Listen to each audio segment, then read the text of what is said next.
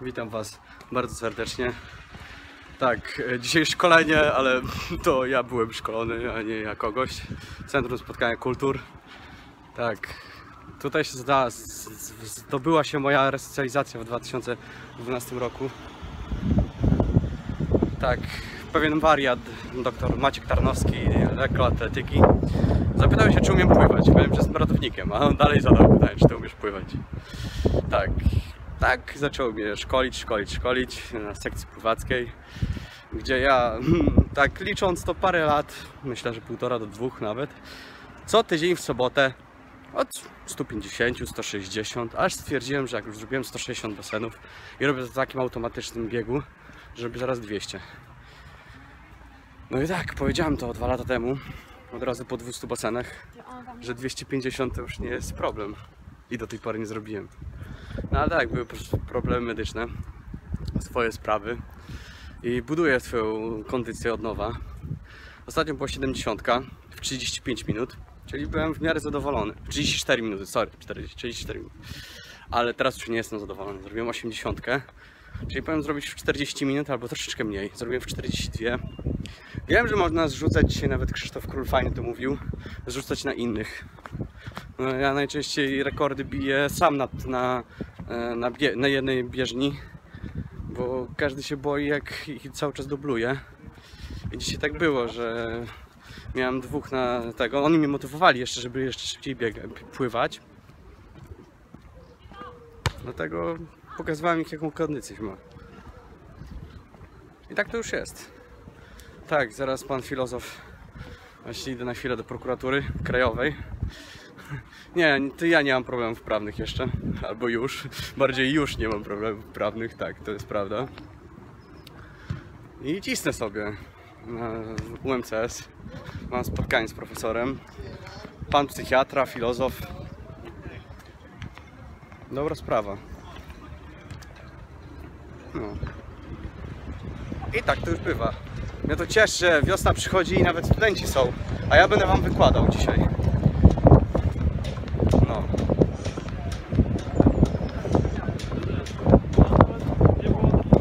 A ten JBL jest wodoodporny, ale słabo go słychać pod wodą. Ja mam, tylko że czarny. Czarno-czerwony. Ale tak, właśnie to Andrzej w Acapulco usłyszał. Tak? On jest wodoodporny? Przyniósł mi miednicę, to sprawdzimy. No dobra. Nie było słychać za bardzo muzyki. Ale dał radę. No co, tutaj wam pokażę temat e, procesu budowania nawyku jako nowa asocjacja.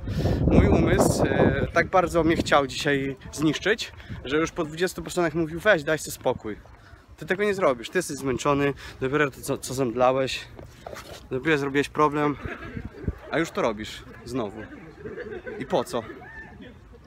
A ja powiem nie, 20 basenów to jeszcze tylko 60, czyli 3 razy więcej jeszcze. I tak co 10 basenów, co 10 basenów, bo tak rejestruję. Nie rejestruję jeden basen. Że o, jeszcze 39, jeszcze 38, jeszcze 37. Ja co 10 liczę i przez to mi jest dużo łatwiej. No, cieszy mnie bardzo, że jesteście zainteresowani moją filozofią. E, tak, tak jak mówię, możemy robić wykład na Wydziale Filozofii i Socjologii. Dogadajmy się. Ja e, dopasuję salę do ilości zainteresowanych osób i się spotkamy. Nie ma problemu. UMCS, Wydział Filozofii i Socjologii. Tak jak całe główne, wszystkie wydziały UMCS-u. Koło pomnika. Wariatki, która jako pierwsza, jedyna kobieta Nagrodę Nobla otrzymała. Rad i Polon. Fajnie, nie? Bądź kreatywny i zrób coś. Nawet dla swojego tylko życia, nie mówię dla całego świata. Tak jak Edison z żarówką. Czy ja ze swoją głupotą. Której się nie kryję. Bardzo lubię, bardzo mi się to cieszy. Bardzo cieszę się z tego powodu. Po prostu działam. No co? Co z tego, że są problemy? Trzeba to się nazwać. To nie są problemy, ani porażki. To są wyzwania. Twoim ży życie, które ci stawia, żeby sprawdzić cię, jak bardzo silny jesteś. Jesteś, jesteś, jesteś, jesteś, jeszcze raz jesteś. I po prostu to robisz. Działaj, po prostu działaj. Słuchaj, nic nie ma. Na początku wszystko musi być trudne, żeby później było łatwe. Wolfgang Goethe powiedział to. Plan jest niczym, planowanie jest wszystkim. No słuchaj, jak ty masz powiedzieć, ej, chcę być bogaty? Jak twój umysł nawet nie wie, co to znaczy bogaty. Czy bogaty to jest 5 milionów, czy 300 miliardów? I nie wie, jakie są etapy do tego, żeby stworzyć to. Żeby dojść do tego, do tej kwestii, jaką jest bogactwo dla Ciebie. Dla mnie bogactwo, ja bo wolę bogactwo intelektualne. Materializm, tak, od zawsze tata mi mówi, że jestem materialistą. Mówię, tato, dlatego rzuciłem papierosy. Bo przerażało mnie kupowanie Marlboro setek czerwonych za 15. Teraz już 15,60, jak dobrze pamiętam, z reklam Lidla. Co? Jabłko bym zjadł, no ale jestem kulturalny, no, z pełną buzią się nie mówi. Co? Kiedy idziemy na basen? Siłownia też jest fajna. Zapraszam do Pako, do moich instruktorów. Też Cię mogę zabawić różną filozofią. A wiosna jest piękna, bo wreszcie ludzie wychodzą na dwór, a nie siedzą na Facebooku tylko. Albo w internecie, albo w książkach. Trzeba też poczuć się po prostu wyizolowany, szczęśliwy, bez barier. Tak. Tam ISEC, ale nie, już byłem kiedyś PR-owcem, tam wystarczy. E, Projekt Summer Camp. Organizowaliśmy kolonię dla uczniów, studentów, mieszkańców Lublina e, na różne, oczywiście w ładne krajobrazy e, i instruktorami od tego jak się gotuje, jaka jest kultura, obyczaje byli zagraniczni ludzie. ISEC to jest stowarzyszenie, organizacja, która rozpowszechnia właśnie kulturę cały świat. Żeby po prostu każdy wiedział co i jak, a nie wiesz, wiesz tylko jaka jest kultura polska. Ale coś trzeba robić lepiej. No. Chatka żaka.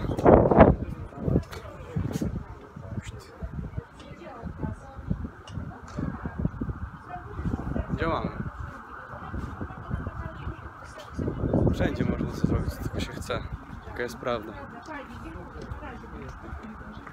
Po prostu trzeba chcieć. O, pamiętam kiedyś tutaj wywiady łapaliśmy właśnie na temat e, rozwoju UMCS-u na inne kultury, na inne nacje i właśnie łapaliśmy obcokrajowców, żeby opowiadali e, jak im podoba się UMCS, Lublin, kultura polska, e, tolerancja jaka jest społeczeństwa lubelskiego właśnie na ludzi z innych krajów. Fajna sprawa, naprawdę. Ławki już są już zrobione, to już będzie można przejść na ławkę wygodną, bo ostatnio chłopaki właśnie szedłem, dostałem w prezencie za to, że porozmawiałem niechcący Balantańca. Tak dla hecy, tak powiem szczerze, tak niechcący to wyszło. I wszedłem tutaj właśnie na, na Wydział Filozofii i Socjologii do profesora Piątkowskiego. No i panowie ławki niszczą. Pana, ale dlaczego pan dezoluje nasze piękne ławki lubelskie, studenckie, UMCS-owskie i w ogóle zmieniamy na nowe deski? No wiecie, wiosna przychodzi, to i trzeba wszystko zmieniać, nie? Żeby było widać, że jest coś nowego. Tak. Ale powiem szczerze, tak, naprawdę te 42 minuty treningu. Kochanie, tylko ty umiesz pokonać to. Tylko ty to umiesz. Naprawdę.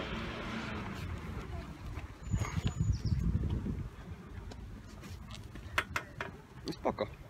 Zmieniamy ak- akcent. Sorry, no ja się nie będę przebierał w slipki, bo tak trochę niekulturalnie robisz to na miejscu. Zwanym ławką. Tak.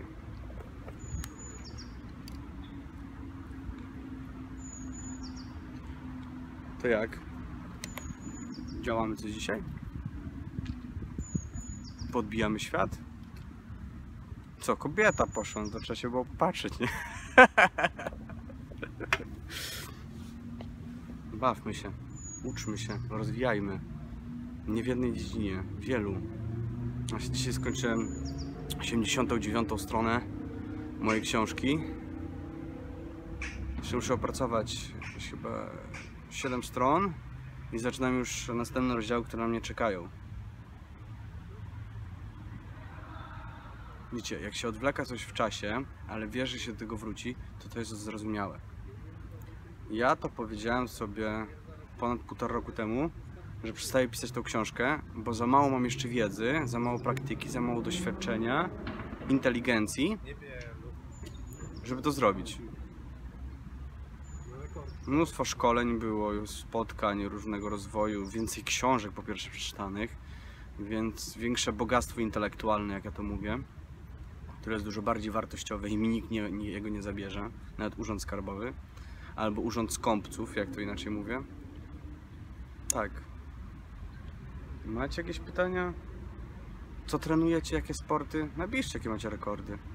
Kurde, ja zaczynałem od 13 basenów i, i byłem, myślałem, że mi płuca wy- wyrzucą, no ale wtedy jeszcze były paczkę dziennie papierosów, to też, też nie było co z tego.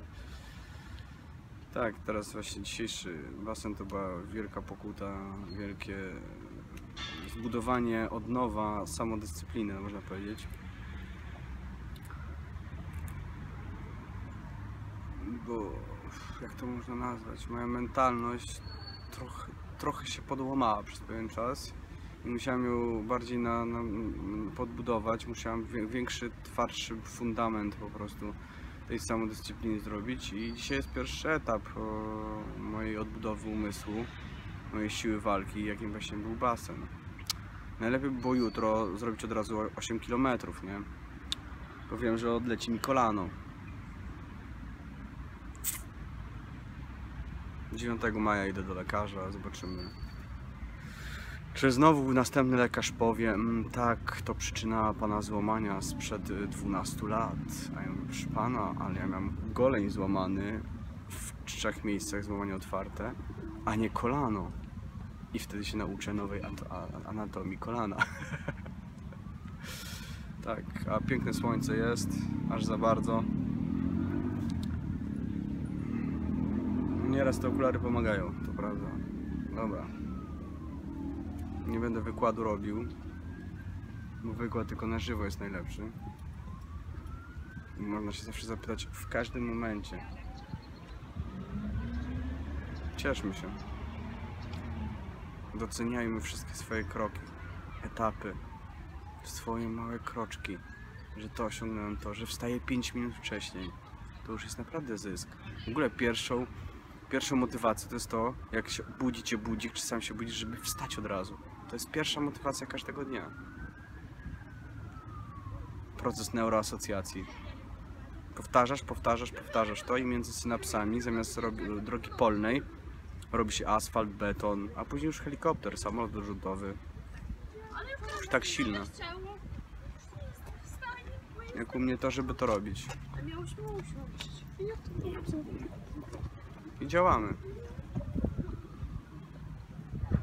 Zaraz, zaraz za jakieś parę rozdziałów będę właśnie czytał, co, pisał cały rozdział właśnie o neuroasocjacji, o budowaniu nawyków właśnie, jak to w życiu, w naszym mózgu, naszym umyśle, w naszych procesach mózgowych się to tworzy. Dajcie łapkę w górę, obejrzcie filmik do końca. Skomentujcie, to jest najlepszy algorytm dla YouTube'a, żeby stwierdzić, że film jest bardzo polecany. Skomentujcie temat właśnie, co trenujecie, albo co chcecie trenować, w czym pomóc, w czym mogę zawsze na Skype'ie pogadać. E, pierwsze kroki pomóc zbudować właśnie, jak to właśnie kupić ubranie i zacząć trenować. O, kotek idzie. O, kotek kici, kici, kici. Tak, też to umiem. Dobra. Dzięki za oglądanie, za relacje, za wyświetlenia. Za Wasze sukcesy dziękuję, bo Wy jesteście moją inspiracją. High five.